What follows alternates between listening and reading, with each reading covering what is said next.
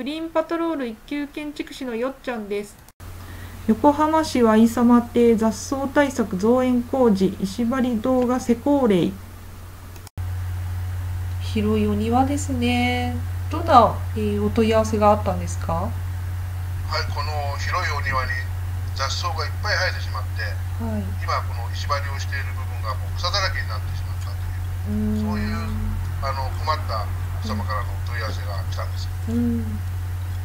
今これは石を張ってその間を敷き詰めてモルタルを詰めているところですね。はい、あのこの草を結局防ぐために石を張ろうということで、はい、えー石を張ってるんですけれども、石と石との間、目地っていうんですけどもね、はい。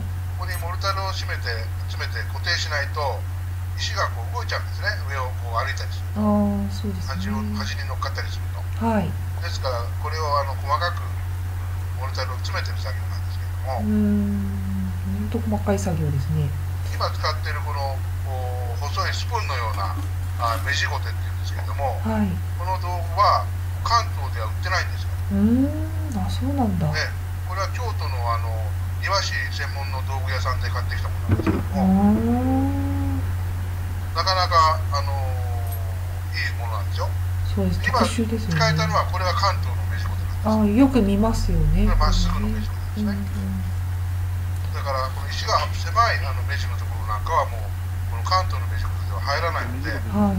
この細かいあのスプーンのような目地ごてを使ってるんですうーん。あこれですね。そうです。うーん。で仕上がった状況なんですが、はい。この噴水の奥にある一番角の辺を工事してました。グリーンパトロール社長の刈谷です。私が親切丁寧にアドバイスいたしますのでお気軽にご連絡ください。フリーダイヤル0120-041-301です。お電話お待ちしております。雑草対策の施工事例がたくさん紹介されていますのでホームページをぜひ見てくださいチャンネル登録もよろしくお願いします。